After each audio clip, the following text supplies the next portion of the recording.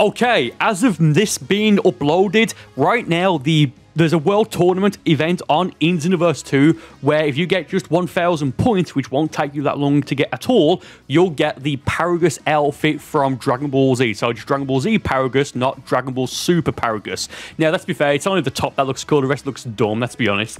But here's the thing though, this hasn't been available since, I believe, 2017. And this may be only the second time this has ever, ever, ever been available. It may be the third, but it's definitely definitely no more than three times, and it's not been available for several years. The World Tournament should be on here right now as of this video being uploaded. You do need to clear the Saiyan Saga and the Ruckus on Planet Namek to actually be able to compete, but this is limitations on, so everyone's set to level 50, and it's an avatar tournament. Do this because I don't know if this will be available again ever in the future because of how long it's taken to become available now.